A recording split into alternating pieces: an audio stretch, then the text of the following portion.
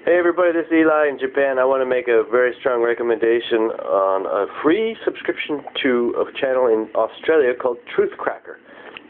Check the sidebar, Truth Cracker. If it's not in the sidebar, check my favorites because I got a bunch of videos his favorited there. He's a very, very cool guy.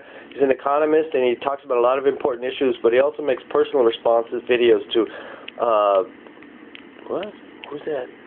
Well, anyway, um, so uh, me and Popeye, we recommend that you buy shares in Truth Cracker. He's lighting up some fires, and it's very important that we communicate here on YouTube to get the right information. You know, I mean, there's a lot of uh, untruths going on, and he's trying to help clarify some things. Okay, Truth Cracker, Truth Cracker, Truth Cracker, and I'm glad you like the music, dude. You're really inspiring me.